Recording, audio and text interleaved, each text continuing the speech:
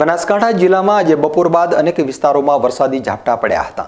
ત્યારે યાત્રાધામ અંબાજીમાં ભારે ઉકળાટ બાદ વરસાદ પડતા સમગ્ર પંથકમાં પાણી જ પાણી જોવા મળ્યું હતું. જાહેર રોડ ઉપર ઘૂંટણસમાં પાણી વહેતા નદી જેવા દ્રશ્યો જોવા મળ્યા હતા. અંબાજીના મુખ્ય બજારોની સડકો પર પાણીનો ભારે પ્રવાહ જોવા મળ્યો હતો.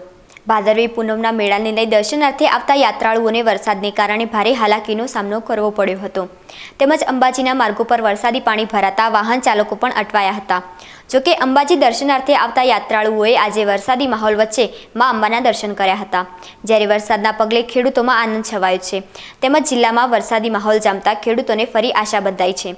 ખેડૂતોના મોટાભાગના પાકો નિષ્ફળ જવાની આરે હતા, ત્યારે વરસાદ આવતા અનેક પાકોને જીવનદાન મળ્યું છે.